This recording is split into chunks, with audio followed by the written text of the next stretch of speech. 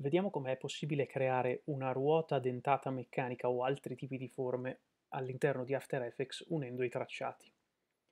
Innanzitutto, come possiamo vedere, la nostra composizione è vuota, per cui la prima cosa da fare è cliccare con tasto destro e dirgli che vogliamo creare un livello forma. Questo livello forma ha l'anchor point nel centro ed è vuoto, perché ha dei contenuti, ma la cartella contenuti è vuota. Per cui la prima cosa da fare è aggiungere un contenuto aggiungiamo un poligono stella che è anch'esso vuoto, per cui vado ad aggiungere un riempimento che di default è rosso e un tratto che di default è bianco. Uh, ora, questo riempimento così rosso francamente mi irrita un po' la vista, per cui lo vado a smorzare un pochino. Ok, mentre la traccia va sempre bene. Apriamo il tracciato e io lo modifico, voglio che la mia stella abbia 12 punte vado ad agire sul raggio interno e sul raggio esterno in maniera tale da ottenere una forma che mi vada bene. Così diciamo che va bene. A questo punto, di nuovo andando ad agire sul bottone aggiungi, vado ad aggiungere un'ellisse. Come vedete me l'ha aggiunta nella stessa posizione. Ora io posso andare ad agire sulla, sulla dimensione dell'ellisse e la ingrandisco fino a farla sbordare dove mi sembra opportuno. A questo punto la ruota dentata potrebbe già essere qui. Quello che devo fare è semplicemente dirgli che voglio unire le forme, per cui vado su aggiungi e gli dico unisci tracciati.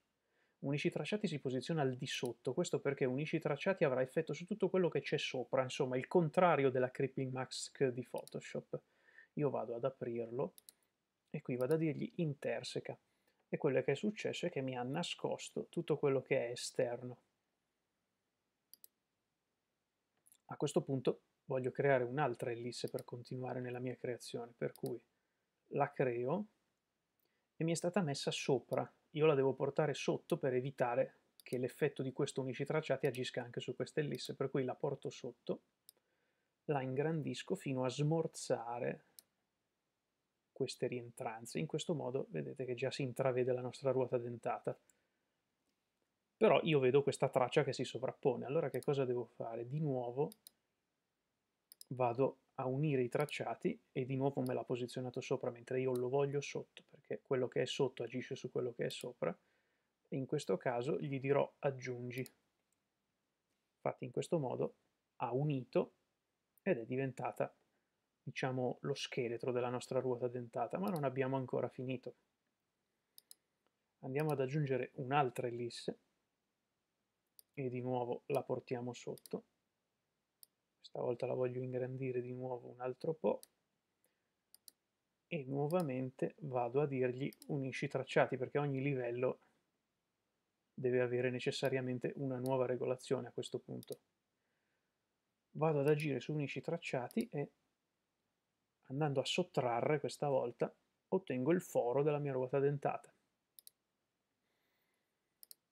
questo punto posso fare un ulteriore passo aggiungendo di nuovo un poligono stella che di nuovo devo portare sotto per evitare che venga effettato da questo unisci tracciati. Questo poligono stella, vediamo un po' cosa gli diciamo, 6 punte, aumentiamo un po' il raggio esterno fin dove è possibile magari diminuiamo un po' quello interno. Ok. E come potete vedere la traccia sopra è ancora visibile, quindi che cosa faccio? Di nuovo gli vado a dire unisci tracciati, lo metto sotto affinché agisca su quello sopra e in questo caso gli dirò aggiungi, era già su aggiungi perché aggiungi è il default. Bene, abbiamo creato la nostra ruota a questo punto la nostra ruota può ovviamente essere animata tramite il, lo stopwatch di rotazione.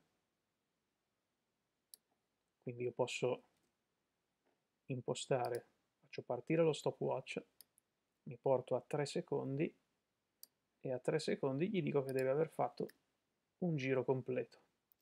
A questo punto la mia animazione è questa.